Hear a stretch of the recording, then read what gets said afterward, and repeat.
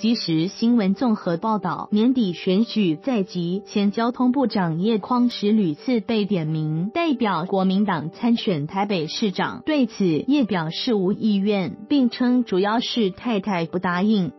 联合报报道，叶匡时今上午前往台中，踢有一角逐下届台中市长，国民党立委江启臣站台。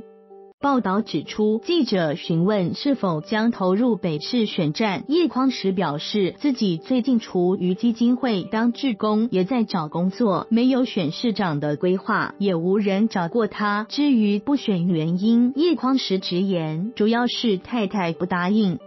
国民党立委蒋万安一月十九日正式宣布不选北市长后，外界纷纷点名参选战将叶匡时便是其中之一。当时他并未正面回应，仅称重点不是谁选，而是如何才能做出贡献。然而叶一月三十一日又于脸书透露，因不想成为自己验增的人，决定提早从专职大学教授退休。部分网友闻讯再度力拱叶出来选，要他。替台湾百姓做点事。